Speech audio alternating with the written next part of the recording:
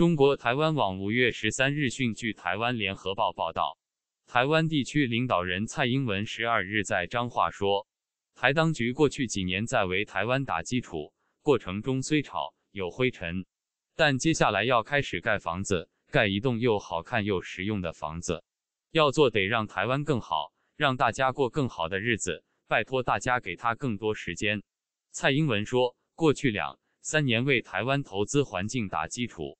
今年一到五月，不少台商回台投资，加上彰化离岸风电是能源转型最大计划，外商投资近一万亿元新台币，可创造许多就业机会。蔡英文还表示，他做了很多事，全世界没人认为他是麻烦制造者，全世界都说他好，只有在野党骂他。蔡英文在南窑宫时，彰化市长林世贤致辞还盛赞蔡就像妈祖林默娘，为了台湾承担所有困难。